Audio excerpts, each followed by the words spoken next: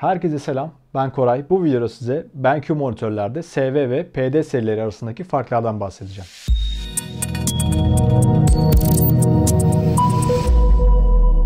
Bu monitörler bize ne sunuyor? Hangi meslek grubuna hangi model daha uygun?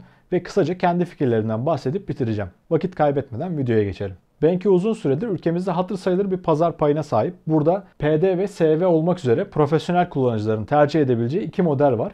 SV serisiyle başlayalım. Renk sizin için çok önemli ise SV serisi kesinlikle düşünmeniz gereken bir seri.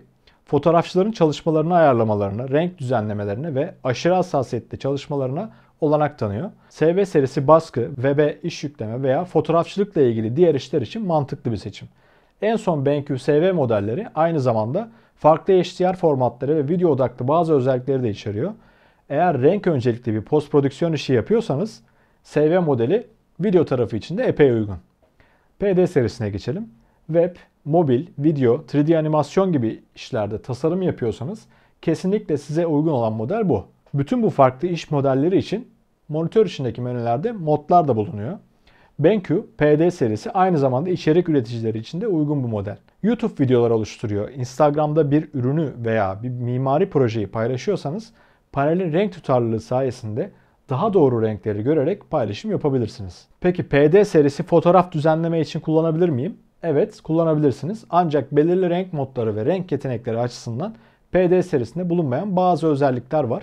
Bunu video içinde daha sonra anlatacağım. Ancak kesinlikle PD serisi kullanarak fotoğraf düzeltme yapmak da mümkün. Benzerliklerinden bahsedelim. Pro serinin en üstünde yer alan modeller olduğu için kullanılan paneller yüksek kalitede.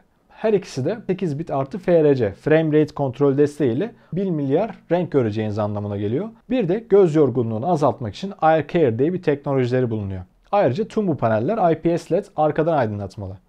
IPS paneli doğru renkleri sağlamanın yanı sıra ekran neresinden bakarsanız bakın renklerin aynı göründüğü bir panel tipi. Tek başına çalışırken tabi karşıdan bakıyoruz. Farklı göremeyiz ama yanımızda müşteri veya müşteriler varsa her kafadan bir ses çıkmaması için önemli. Bu arada hem SV hem de PD serisi için son çıkan modellerde Uniformity teknolojisi de eklenmiş.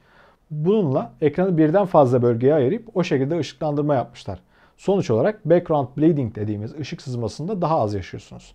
Dolayısıyla daha tutarlı siyahlar var da diyebiliriz. Donanım ve yazılım kalibrasyonu arasındaki farklar. BenQ SV serisinde donanım kalibrasyonu özelliği var. PD modelinde ise kullandığınız işletim sistemine bir ICC profili oluşturarak renk kalibrasyonu yapabiliyorsunuz. Bu konuda iki tip kalibrasyon arasındaki fark için daha detaylı bir video kanalda mevcut. İsterseniz onu da izleyebilirsiniz. Evet kalibrasyondan konuştuk. Bu ekranlar BenQ Pro ekran serisinin bir parçası oldukları için fabrikada önceden kalibre edilmiş kendi bireysel kal- kalibrasyon raporlarıyla birlikte geliyor. SB kalibrasyon raporu daha solid bir paneli sahip olduğu için daha detaylı oluyor. PD kalibrasyon raporu ise SV'ye göre biraz daha az bilgi içeriyor. Yine de panel hakkında Delta kapsamı dahil olmak üzere birçok bilgiyi görebilirsiniz. Delta E demişken bunun hakkında biraz konuşalım. SV serisinde BenQ her zaman delta E değerinin 2'den az olacağını garanti ediyor. PD serisinde ise delta E değeri 3'ten küçük olarak garanti veriyor. Ki bu çoğu durum için kabul edilebilir bir değer. Bu arada kendi yaptığım kalibrasyonlarda PD serisinde 1.9, SV serisinde ise 1.55 civarı bir delta E değerine rastladım. Sertifikasyon kısmına geldiğimizde ise BenQ SV ve PD serisi ekranlar Pantone ve Kalman sertifikasyon süreçlerinden geçip onaylanmış. Bu ekran üzerindeki renkleri Pantone kartına sorumsuz bir şekilde eşleyebileceğiniz anlamına geliyor. Video işleme için de oldukça geçerli bir sertifika olan Kalman da onaylamış. Karşılaştırmanın sonlarına doğru gelirken panel dışında tasarım ve ergonomiden bahsetmemek de olmaz tabi. Birinin diğerinden kesinlikle daha iyi olduğunu söyleyemem. Ancak şunu söyleyebilirim. PD serisi ekran gerçekten güzel, temiz, ince, şık bir tasarımı var.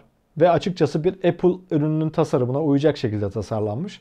Eğer bir Apple ürününüz varsa yanına koyduğunuzda pek sırıtmaz. Öte yandan SV ekranları çok havalı durmayan ama çalışırken dikkatinizi çekmeyecek renklere sahip. Açıkçası ben Extended Arm kullandığım için monitörün sadece kenarlarını görüyorum. Ee, yan yana koyduğum zaman da ne kadar az boşluk olursa o kadar iyi. SV modelleri kutudan bir gölgelikle birlikte geliyor. Bu gölgeliğin içi kadife gibi bir malzeme ile kaplı ve ışığı sektirmiyor. Dolayısıyla ortam ışığından minimum derecede etkileniyorsunuz. Ayrıca bu ekranı on-set ortamlarda çalışmak için de uygun hale getiriyor. Bu şapkayı PD serisine takamıyoruz. Onun için montaj delikleri bulunmuyor. Yani iki modele birden sahip olsanız bile bu özellik PD'de yok. Onset demişken SV serisindeki monitör ayaklarında taşımak için bir handle bulunurken PD serisinde düz bir tasarım kullanılmış. Evet monitörlerin portları, ağırlığı vesaire gibi teknik bilgiler için yine Octostore internet sitesini ziyaret edebilirsiniz.